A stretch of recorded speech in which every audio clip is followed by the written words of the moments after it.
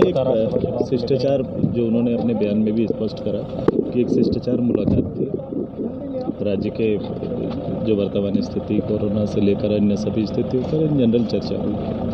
लेकिन उन्होंने बात कही कि एक आंदोलनकारी है एक आंदोलनकारी को समझ सकता है। आप ही आंदोलनकारी नहीं निश्चित रूप से निश्चित रूप से बैकग्राउंड देख रहा है तो ये बात तो लाजमी है ये बात वो बोल सकते हैं। राज्यसभा चुनाव को लेकर आप लोग का स्टैंड अप तक क्या है? पार्टी का आपने देखा होगा और ये जिस रूप से पार्टी ने शुरुआती समय ही बीच का काल था शुरुआती समय जो निर्णय पार्टी के आए थे हम लोग बात करेंगे इस विषय में और। आप इसको एक शिष्टाचार मीटिंग के रूप में ही रखिए। अभी तक आप एनडीए के साथ ही है ना? ये बातें आगे आएँगी अभी चीज़ें आगे आप देखो अभी। ठीक है तो कि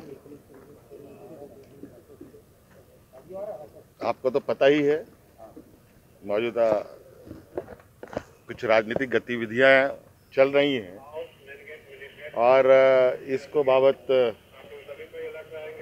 मैं कुछ विचार विमर्श करने हेतु आज सुप्रमुख सुदेश जी से हमने मुलाकात की थी। और चूँकि अभी इस राज्यसभा में जो लोग प्रत्याशी के रूप में खड़े हैं।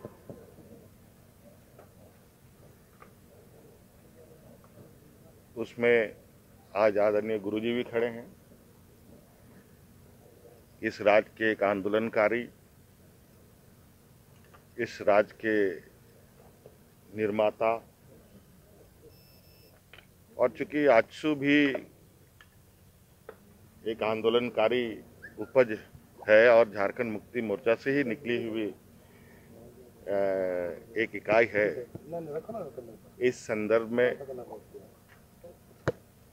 एक हमारा औपचारिक ये भी बनता है कि अपनी बातें रखी जाए। मैं समझता हूँ कि आंदोलनकारी की बात, आंदोलनकारी बेहतर समझ सकते हैं। सो हमने अपनी बातें रखी सर गुरु जी का गुरु जी गुरु जी का आंकड़ा तो पूरा हो रहा है तो क्या ये पूरा कवायद जो है वो दूसरे प्रत्याशी के लिए चल रहा है?